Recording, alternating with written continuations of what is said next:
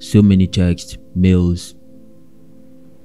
Thanks to all those people who checked up on me. But if you were wondering where I was, thank goodness. As you can see, I am not dead. I am still alive. Was working on this documentary that almost took my entire life, but thank goodness we were able to finish in less than a year. And so we got to this town, which looked like an ancient first century neighborhood. Right? No electricity, nothing. Thank God we went in there with a couple of solar panels that we fixed, which helped us in charging our batteries and stuff. But it looked so old. You see donkeys everywhere taking shit around, pissing all over the place.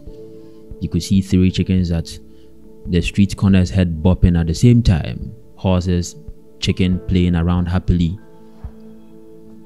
Thank goodness there was no KFC around to cook them.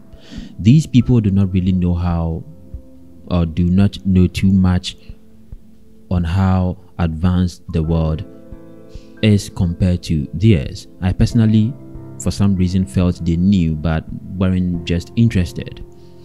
Most often, you come out in the mornings and you see people walking about naked, and it was so normal.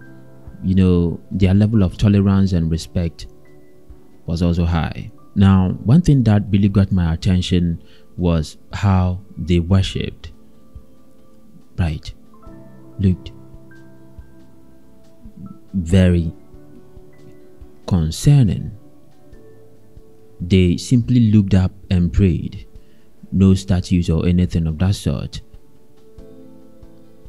And so I got curious and decided to ask. But interestingly, they are unable to understand us and we also don't understand them. But the few gestures that we do, we are able to understand them and they they are for some reason they also are able to understand but it's not consistent sometimes you need to do a whole lot of gestures to get one thing right right so i got curious and decided to get into it, it seemed exactly to me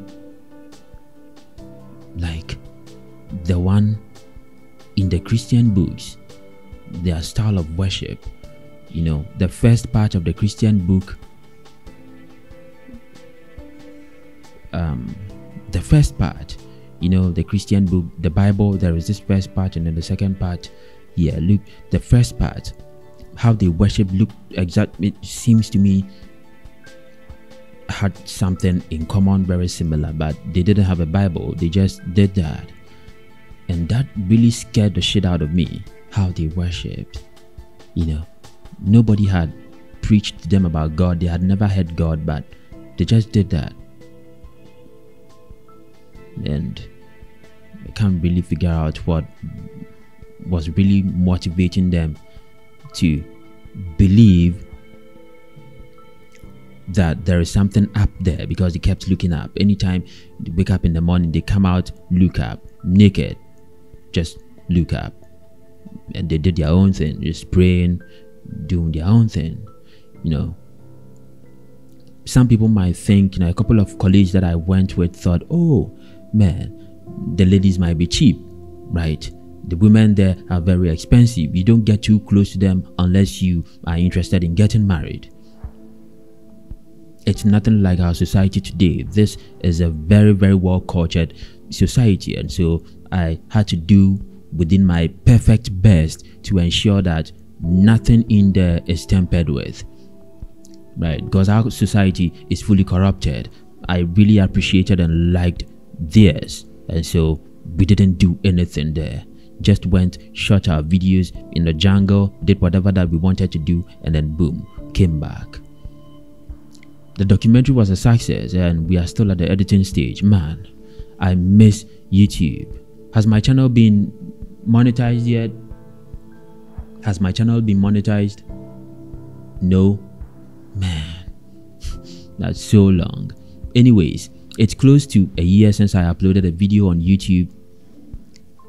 Yeah, close to a year. I'm back upgraded with more content and lots of interviews with a lot of um, professionals in the 3D field.